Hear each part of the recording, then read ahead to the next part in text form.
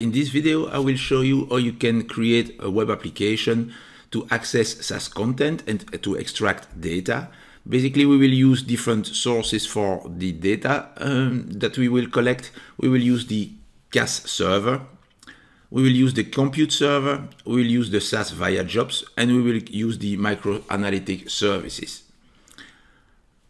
As you can see, we have created one single page application using React this page gives you access to the different components.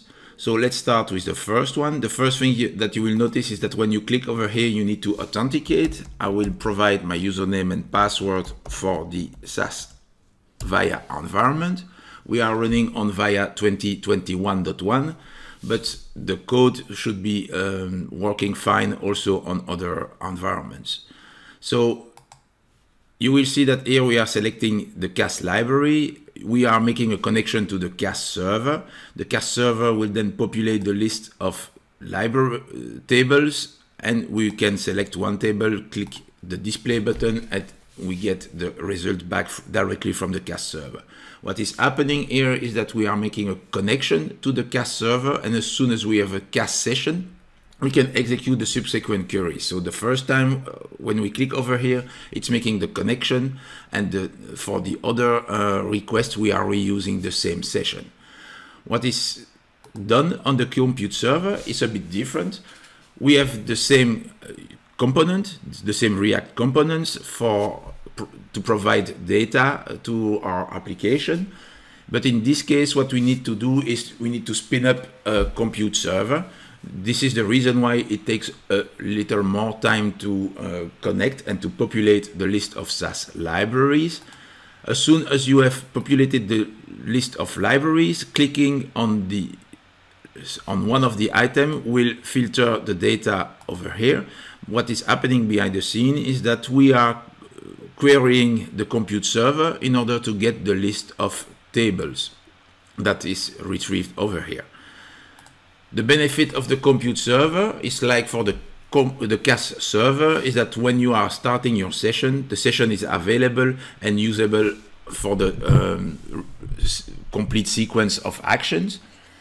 Another technique that you can use to populate the data is to use the SAS Viya jobs. If you use the SAS Viya jobs, you have the same uh, impact as for the um, compute server. That means that as we are running on Kubernetes, we need to spin up a pod which contains the uh, compute server. So the compute server will execute the query and provide the data to the uh, SAS library uh, drop-down box over here. The biggest difference with the SAS compute server is that as soon as you click over here, you need to spin up a new compute server. So why is this? Because SAS Viya jobs are designed to execute in the background and to execute one single query. There is no ID of session in the with the SAS Viya jobs. So that means that for each interaction, if you are calling a Viya job, then you need to spin up a compute server. So the side effect is that it takes a bit more time, but the benefit is that you have a single code that is stored in the SAS Viya environment and which can be reused whenever needed by any user. The difference with the compute server is that the compute server, you need to pass the SAS code to the server in order to execute it, which means that the developer needs a bit of knowledge about SAS coding. As you can see over here, it's on spinning again and again because we are spinning up the different um, servers. You can reduce that waiting time just by specifying some um, extra options to the compute server that is used by the SAS Viya jobs but this is not the purpose of this video. If you want to use MAS, so MAS is the microanalytics services, what it's used for is used to publish models. So that means that when you have developed your model within Model Studio or VA or whichever uh, SAS tool you want to create your model, you can publish the model to the MAS server. And then from the MAS server, you create a form, for example, to provide data uh, to feed the data to your model, and then the model will run behind the scene and generate some uh, results. Clicking on the evaluate, I see that we have here the results and we have the statistics that we, we, we want to see for uh, to, to explain the result. You might wonder why, uh, how um, the application has been developed. So I will show you the code that we have over here.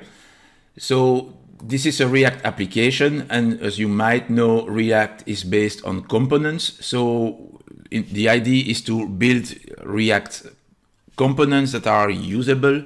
So in our interface, we have you have seen that we have the filters for the SAS uh, libraries or for the CAS libraries.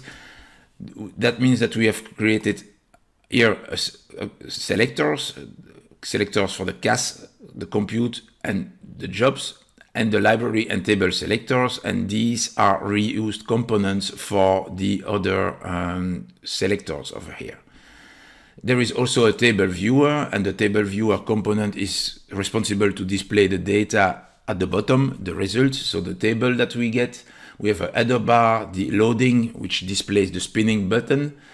We have also the MAS form and the MAS results, and these are used for the um, MAS page.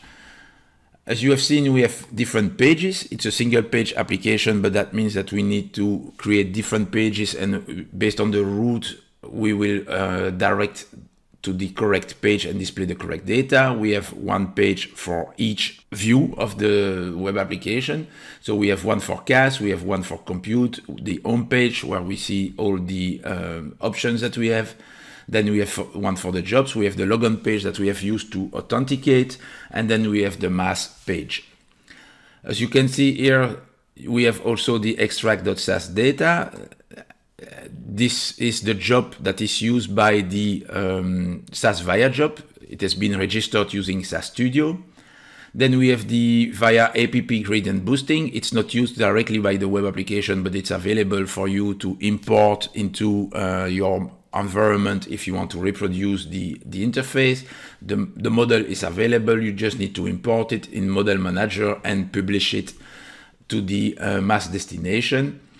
Then we have finally the app.js, and this is basically the root of our application where we will be importing all the pages and defining the um, application. We have also the authentication context provider. That authentication context provider is needed just to pass the information to uh, all the pages about the uh, user that we have uh, connected to the system. So that's basically it. If you want to get more information about the, the code, you can of course have a look at the communities articles. We have a blog series for, for that. Um, the first one describes how you can extract data, the different options that you have. At the bottom, you will see that you have the remainder of the blocks. So you will have the Builder React application explaining how to build the components that are usable across the different pages. You have the build web application using SAS Viya jobs. So it's explaining how you can register the code in SAS Studio, but also how you can link your SAS Viya job page inside the web application and with the uh, Viya job. You have done the one for the cloud analytics services, so for the CAS, explaining how you can connect to the CAS server and extract data out of it. And then we have the compute server, and on the compute server, it's explaining how you can use the compute server to execute SAS code and to collect data out of the SAS environment using SAS uh, foundation code. And then we have finally the micro analytics service, uh, which describes how you can register the model and how you can consume it using the uh, Viya web application that we have created over here. All the code is available on GitHub. So if you want to reproduce, you can easily download it and install it for yourself. You just need to follow the instructions to install React and create an application that is described in the build React application.